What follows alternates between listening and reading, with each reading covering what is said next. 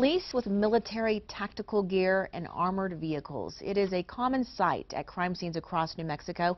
But today, President Obama has ordered a review of federal programs that help local police departments buy that military gear.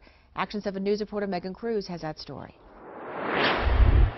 They look more like soldiers in a war zone. On the contrary, they're Bernalillo County Sheriff's deputies at a SWAT situation from earlier this year. And here's the New Mexico State Police at a situation in Moriarty. Local and state police departments get the military gear through a number of federal programs. But on Saturday, President Obama ordered that those programs be reviewed. This comes after the fallout in Ferguson, Missouri.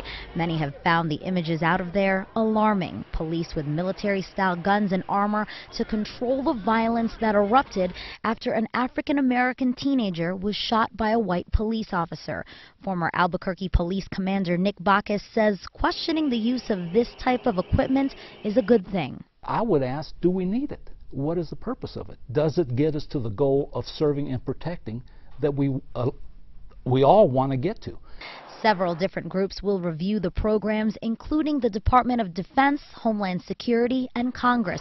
A spokesperson for the White House says few weapons actually go to local police departments.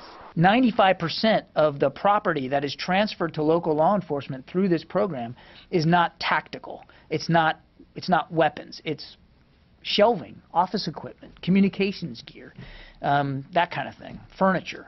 Megan Cruz, KOAT Action 7 News. Earlier this year, the New York Times found out which states received mine-resistant armored vehicles from the military. Well, it found that 42 of those vehicles are parked at departments across New Mexico. That's more than any other state.